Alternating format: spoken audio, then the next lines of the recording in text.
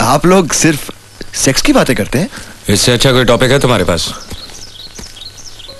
ये जंगल ये वादियाँ ये खूबसूरती।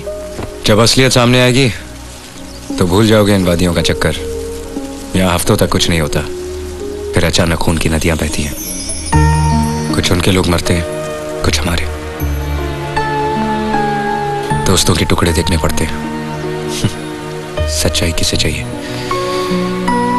इसलिए जब तक हो सके हम अपनी झूठी दुनिया में जीना पसंद करते। हैं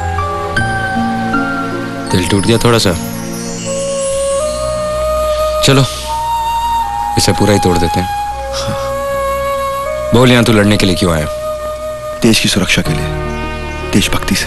देश के लिए जो भी लड़ने आता है दूसरे दिन ही भाग जाता है। क्योंकि जब गोलियों की बौछार होती है तो किसी देश की नहीं सिर्फ़ अपनी फ़िक्र होती है। सच तो यह है कि तूने कर्ज लिया है, सौ करोड़ भारतवासियों से। इसलिए तू मैदान छोड़ के नहीं भाग सकता। तेरी बंदूक, तेरी वर्दी, तेरी तनख्वाह, सब एक कर्ज है, जिसे तुझे खून से चुकाना है। जैसे जैसे तू दुश्मन को मारता जाएगा, तेरा कर्ज मिटता जाएगा। और जिस दिन तेरी जान गई, समझ भी आज भी चुक गया। अब सेक्स की बात करें? दिखाओ इसको।